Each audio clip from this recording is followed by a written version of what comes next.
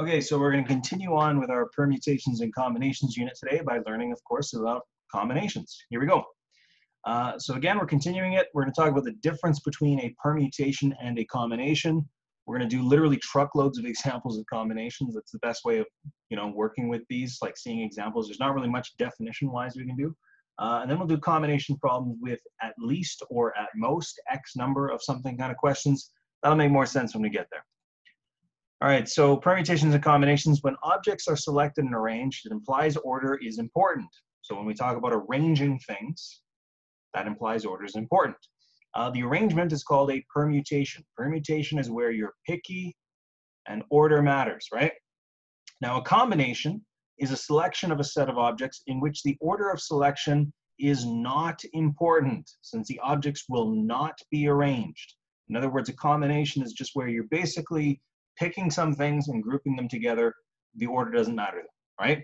So uh, same example from yesterday, selecting a first, second, and third place prize winner from a group of contestants is a permutation because the order they're in, or the order they're selected in rather, uh, actually matters, right? Uh, now, if a group of people are chosen to form a committee or something where, where everyone has equal power, so it doesn't matter if someone's not first, second, or third, you're just forming a committee of people, that would be a combination. Because again, order doesn't matter. You're just looking to fill uh, a certain number of people in a role, uh, order wouldn't matter, okay? Uh, another example of that would be like when we do group, group projects and stuff in class, and if I just randomly group you in groups of three, uh, order doesn't matter. You guys are all in the same group. Uh, there isn't someone who's in a different position than someone else. Uh, now, with some irony, there's the fact that a combination lock that you use in your locker, technically that should be called a permutation lock because the order you input your quote unquote combination uh, actually matters, right? So if your combination was like 35, 20, uh, you would actually have to put it in that order. It's not the same thing as putting in 20, 35, right?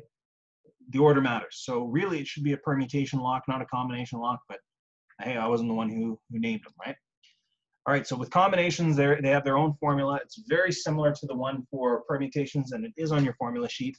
Uh, if n objects are selected r at a time and the order is not important, then the number of ways of selecting these r objects can be determined with this formula right here. So NCR, so n objects, and you're choosing r of them.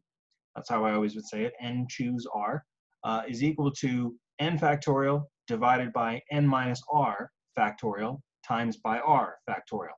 Uh, now, what's weird about combinations, and don't ask me why, it's just an old-fashioned way of doing it. Uh, oftentimes in the past, instead of saying NCR, they would write it like this instead. So like a really tall, skinny set of brackets where the number of objects you can choose from over the number of objects you're actually choosing uh, is written like so. I literally never use that.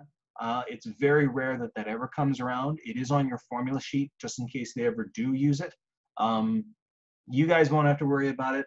Um, but uh, I know years with diploma exams, uh, sometimes that does show up on a diploma exam, and I, I have no idea why it's even a thing, because I think this right here, NCR, is vastly uh, a better way of writing this. But whatever, it, it happens. All right, so here's an example. Uh, Lotto 649 is uh, a ticket where out of 49 numbers, um, you choose six and you hope that uh, your numbers get picked in the weekly draw. How many different tickets are possible? Uh, well, here's the thing. The order that you pick your numbers in doesn't actually matter because again, they're automatically put in order from smallest to largest, right? So you don't actually have to get the order correct or anything like that. That would be insane. That would make it way harder to win the lottery. Uh, you just have to pick the right six numbers. And as long as they're the ones that get drawn, uh, you're good to go. So since there's 49 numbers to choose from, that's 1 to 49, you have 49 numbers, uh, and you're choosing only six of them. And the order doesn't matter because, again, they're automatically put in order from least to greatest, whether you wanted to or not. Uh, so 49C6 is going to give us the answer to this one. So the number of possible uh, tickets in a Lotto 649, throw this in your calculator, or if you use the formula, I, I guess I never mentioned how to throw this in a calculator, I don't think, did I? Yeah, no, I didn't. It's the same way to throw it into permutations, in case I don't mention it later on. Whatever. Put it in your calculator, put it in the factorial notation, whatever you want to do. Either way you do it, you're going to get 13,983,816. That's the different possibilities uh, for tickets for Lotto 649. Uh, and that's true. Mathematically, that is exactly how many different possible tickets there are. So if you bought one ticket, you would have a 1 in 13,983,816 chance of actually winning the lottery. It's pretty, pretty darn low, right? Um, put it this way I, I, took a course in university, it was called Game Theory, where you analyze uh, the probabilities winning different things. One very simple way of doing this is you wouldn't be guaranteed to win the lottery unless you bought that many tickets, where every single ticket was a, a unique ticket, right? If you took this number and you multiplied it by however much a Lotto 649 ticket is, which I think it's like seven or eight bucks, uh, bottom line is you're going to be pretty close to $100 million that you're spending on these lottery tickets.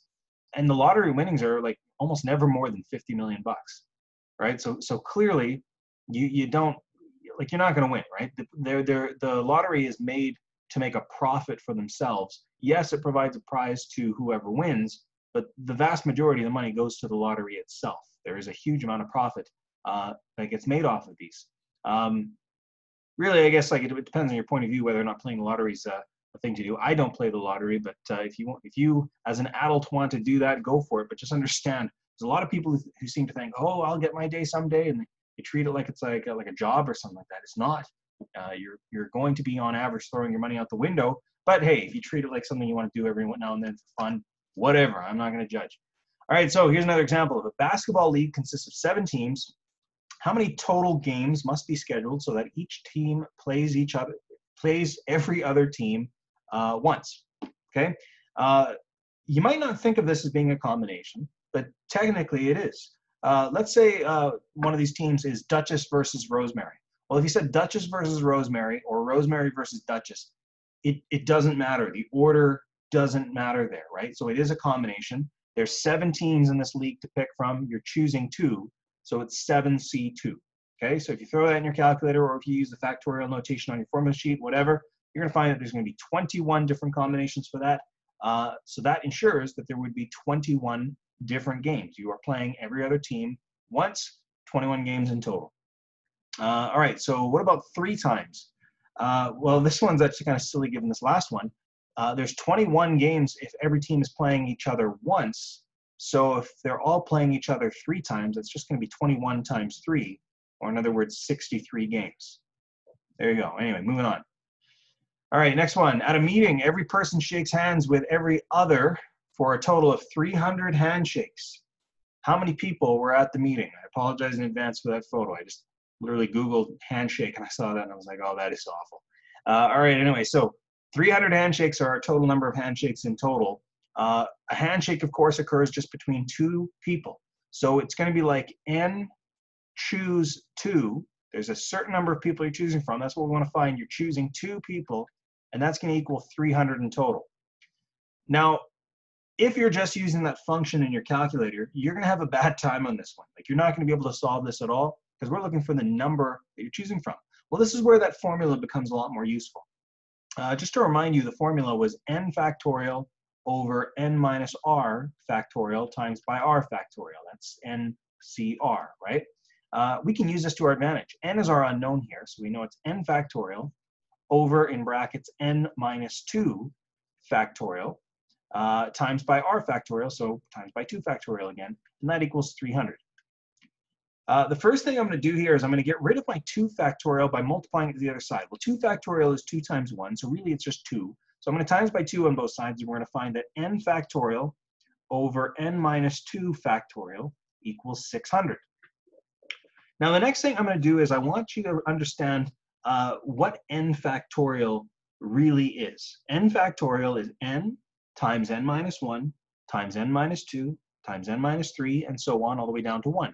Whereas n minus 2 factorial is n minus 2 times n minus 3 times n minus 4 all the way down to 1. What I hope you notice is, if I started breaking this down, I'll just kind of like erase the factorial here. What I hope you notice is n minus 3, yada, yada, yada, that this is going to be, well, let me get rid of that factorial sign. This is going to be one of those cases where you're knocking out a huge chunk. That should be n minus 1. It's not very clear. My apologies. You're knocking out a huge chunk of what your overall uh, thing is here uh, to break it down to something smaller. So bottom line is, what I'm trying to get to is, you really just have n times n minus 1 equals 600. Now n times n minus 1 is n squared minus, uh, uh, minus n equals 600. Uh, and then you can bring everything one side and you can see that that's n squared minus n minus 600 equals 0. That's just a quadratic. And you can use your sum product rule to start factoring this one. This one's a bit of a tough sum product rule because 600 is quite a large number, but take my word for it, the two numbers are going to be uh, x minus 25 times x, oh sorry, not x, n, my mistake, n minus 25 times n plus 24, because 25 times 24 is actually equal to 600. Uh, again, you, you might be really wondering how I did that. I guess another thing you could do is you could use the uh, quadratic formula. That would help you out here. But bottom line is, from this, in order for this to equal 0, either n has to equal 25 or n has to equal negative 24. And let's just put it this way, I sure hope there's not negative 24 people at this meeting.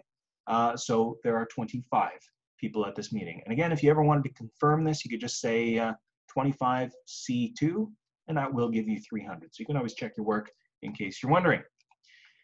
All right, next up, a basketball coach has five guards and seven forwards on his team. How many different ways can he select a starting team if these following conditions are here, right? So uh, we want two guards and three forwards.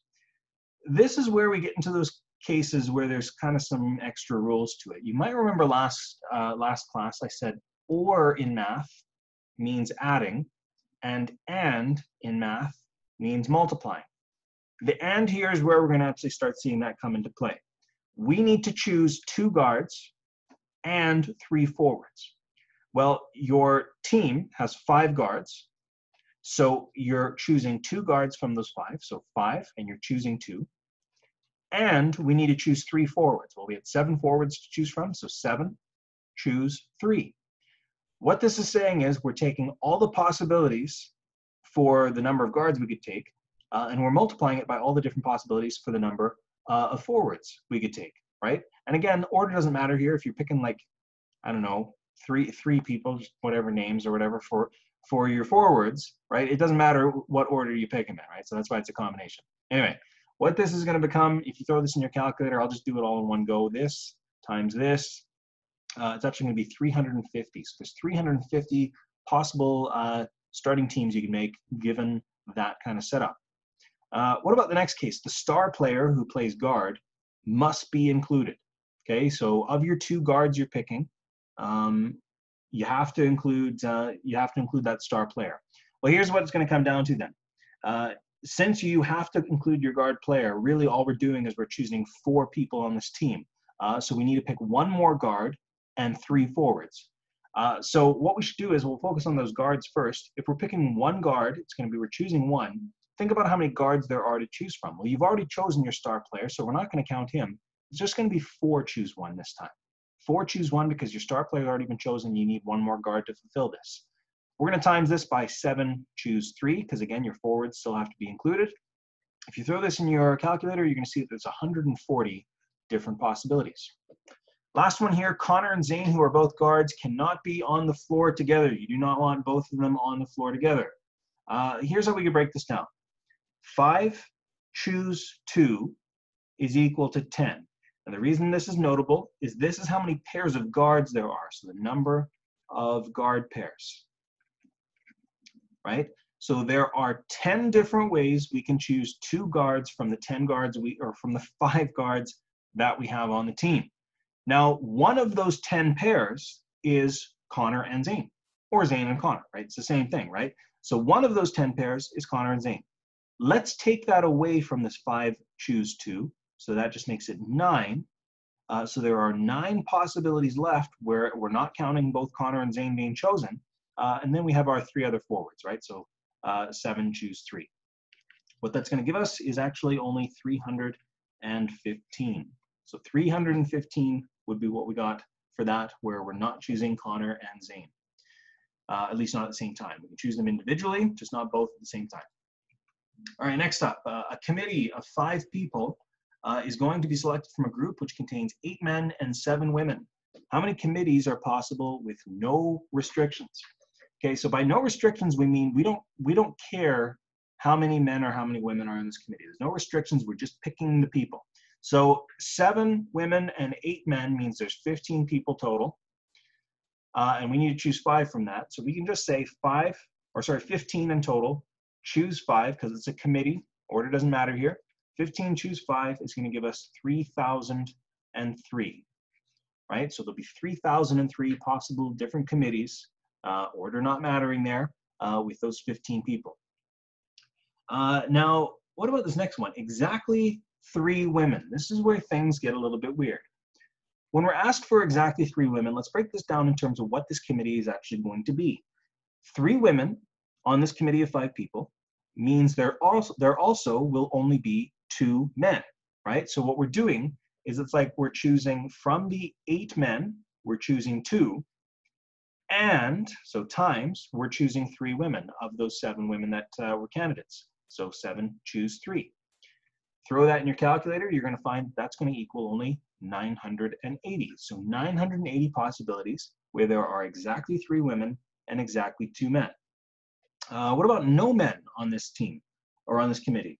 Well, if there are no men on this committee, then that means we're only choosing from the women, right? So in other words, we're choosing from the seven women and we're choosing five of them, all five of them, all five from the seven uh, women, right? Uh, that's going to be the number of committees we have that are just female from these candidates, and that's going to be 21. Now, if you're scratching your head right now and you're thinking, well, why, why don't we consider like the men in the calculation? Well, put it this way, if you're making a committee with no men on it, for instance, those eight men that are part of the group you're selecting from, they might as well not even exist at all, right? So that's why we just ignored that altogether. Uh, it's seven, choose five, okay? Uh, a few more questions with this exact same context. What about this? At least three women. Okay, this is where you got to be really careful. At least three women means there could be three women, or there could be four women, or there could be five women. Notice the ors. Or in math means we're adding things up. Now here's some good news. We've already found the answer for if there's three women. That was on the last line. That was 100 or 980, right? So 980 or excuse me, I just gotta take a drink here. I'm losing my losing my voice here. There we go. Now I'm a little bit better. Just so you know, this is like the sixth lesson I've recorded today. Just by the way, I've done science 9 and math 30. But anyway, uh, four women would mean uh, we got to calculate that one. So four women, we'll do this in brackets. Uh, four women means of the seven women that are applying, we're choosing four. And of the eight men that are applying, we're choosing one. Four and one, of course, makes a committee of five. Uh, or five women. Five women, we also already calculated that was 21. Throw all that in your calculator. Maybe you want to do this piece first and then add it to the uh, 980 and add it to the 21. Uh, either way you do it, though, it's going to give you 1,281. There we go. Uh, what about this one? At least one man. All right, so that means either uh, one man or two men or three men or four men or five men. That's a lot. Like that is a lot of different possible things. That would take you a long time. That, there's nothing wrong with this. You can try this. At least one man, you can go this, plus this, plus this, plus this. We don't know any of these. Well, I guess we know this one. We know two men, right? But other than that, we don't know any of these. let's maybe uh, reframe this just to save ourselves some time. Uh, at least one man is the opposite of saying no men, right? Now, we found before no men, which is the same thing as five women, uh, is 21. There are 21 possibilities for no no men, right? So zero men is the only other possibility here. There's 21 possibilities there for that. All of this else would be all the other possible choices. Well, in total, remember from the very first one we did, there was 3,003 possible choices in total. If we take away the one possibility with zero men, which again was only 21, that'll tell us how many possibilities there are where there's at least one man present. So 3003 minus 21 is 2,982 there you go. Hopefully that made some sense. That, that, that is kind of a weird context, but if you think about it in the grand scheme of things, in all the possibilities, uh, hopefully that is decent. Uh, what about this one? At most one man. All right, this one's a little easier to work with. At most one man means there's either zero men or there's one man.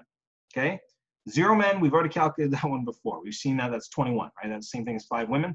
One man, however, we haven't calculated, at least I don't believe we have. No, we have not calculated. Oh, maybe we have. I guess technically would be this one, wouldn't it? Yeah, it would be this one. Four women, but shoot, I didn't write down what that number was. Oh well, we'll, we'll recalculate it.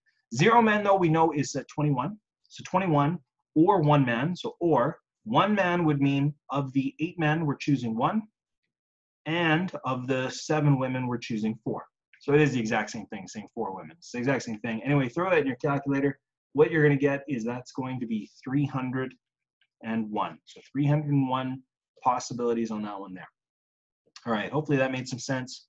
Uh, we're going to move on to one of the last contexts. It's with a deck of cards. I put a little preamble here because just in case you don't know the details behind a deck of cards, but a deck of cards has 52 cards in total. Decks of cards have four suits. There's hearts, which are red, diamonds, which are also red, spades, which are black, and clubs, which are also black.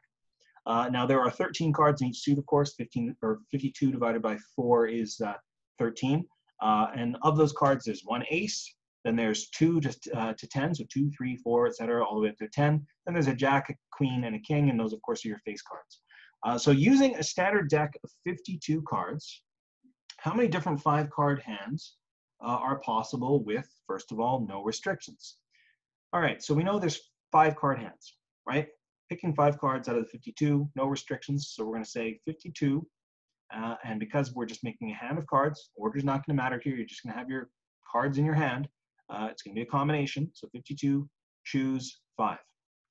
Throw that in your calculator. You're going to find that you get 2,598,960. Now, what about all hearts? So in other words, how many possibilities are there where it's just hearts? Well, again, just like the one before where we're making a committee, if you're only looking for the number of card hands that only have hearts in it, you might as well ignore all of the other cards uh, in the entire deck uh, and only focus on the hearts. So there'd be 13 hearts, and you're choosing five of them. So 13C5 is going to give us 1,287. Hmm, interesting. All right, moving on. Uh, again, using that same standard deck of 52 cards, how many different five card hands are possible with all the same suit? Okay, so this one is uh, interesting. Remember, we already found all hearts. All hearts means there were 1287 in total. Now, logically, because it doesn't discriminate in a deck of cards, that would be the same as all diamonds, or all spades, or all clubs. And because of that, we can just take that number, 1287, and we can just times it by four, because it's like this is for hearts, plus the ones for diamonds, plus the ones for spades, plus the ones for clubs, right? So you just might as well times it by four. That's going to give us 5,148. There you go. Uh, what about this one? Four queens. Well, this is going to be really uh, similar to that uh, committee one we did a second ago. Uh, four queens means we're doing four queens and one of anything else. Because again, it has to be a five card hand. It's just four queens and one of literally anything else. Okay. Now, your four queens, what we have to think about there is we have to pick from only our queens. Well, there's a queen of hearts, a queen of diamonds, of spades, and of uh, clubs. Uh, so really, it's four, and you're choosing four from that, right? So of the four queens you're choosing, you're choosing all four of them. Uh, and, so in other words, instead of writing and, I'll write times, one other card. Well, we've already chosen our four queens, so think about all the other cards that are remaining in this deck of cards. There's going to be 48 cards left, and you're choosing one of them, okay? Uh, throw this in your calculator. What you're going to find is that this is actually just equal to 48 which should actually make sense. If you're picking four queens, that's all the queens in the deck. Now you're picking one other card. There's only 48 other cards to choose from. So yeah, it'd be 48. There you go. No big deal. A uh, couple more here. Uh, this is this is whoop, this is it actually. By the way, we're we're pretty much done after this. Uh, exactly two kings. Okay, so that means we want two kings and three other, but they just can't be kings. So not kings right? Because if it was three other of any other card that are left, one of them could be a king. We got to watch out for that. Uh, so if we're picking two kings, that means we got four cards to choose from. Those are all four of your kings, and we're choosing two of them. And three other cards of your remaining cards that aren't kings. The ones that aren't kings are going to be 48 cards left that aren't kings. Yes, you've only uh, chosen two, uh, so it could be 50, but really, of the 50, two of them are kings. So really, we want it 48. So 48, choose three, uh, throw that in your calculator and you're going to find it's a much bigger number than we've been dealing with, uh, 103,776. All right, next up, at least two kings. I'm to take another drink here. Ooh, I'm losing my voice. Ah, there we go. All right, much better. Okay, so at least two kings. Uh, that means we want either two kings, oops, two kings, or three kings, or four kings, Uh, and we can't have five kings, so that that's that's all our possible outcomes right there, right? So there we go, two kings or three kings or four kings. All right, well, we already know exactly two kings. We calculated that in the last one here, so that's 103,776. Um, we also know four kings because it would be the same thing as choosing four queens. That was 48. So really what we got to do is we got to figure out this three kings thing. Well, three kings, let's put this in brackets. Three kings means of the four kings, we're choosing three of them. And of the 48 other cards, we're choosing, I guess there'd only be two left to choose from there. Uh, plus four kings, I'll just remind you, four queens was 48, so it'll be the same thing for kings. Hopefully you can see that. Uh, throw that in your calculator though, what you're gonna find is it's gonna be 108,336. All right, last but not least, at most one ace. We'll interpret what that means. At most one ace means either zero aces or one ace. Okay, so let's deal with this one. Zero aces means you are not picking any aces. You might as well take your aces and throw them right in the trash. Now there's one ace for each suit. So for zero aces, that's the same thing as just saying 48, choose five. Was 48 we're referring to there or all your cards other than your aces? Or one ace. Well, one ace means of the four aces you have, you're choosing one of them. And of the 48 other cards you're having, you're choosing four of them to make up your five cards in total. Throw that in your calculator and you're going to see that it's 249. Ooh, wait, more than that. Way more than that. Sorry, not 249. It's 2490624. Break that up into chunks. That's 2,490,624. There we go. We're all done. Okay, so that was another long lesson today, guys. I apologize, but again, it is important that we go over this, and it is our last chapter. This was our second last day of Math 30-1. Look at us go. For practice, I want you to try some of these questions here. Make sure you got it down pat, especially those at least or at most kind of questions. Uh, and contact me if you have any questions at all. Uh, chapter test, of course, will be on Friday. I'll have it open to you right after our Thursday Zoom. Um, but aside from that, best of luck.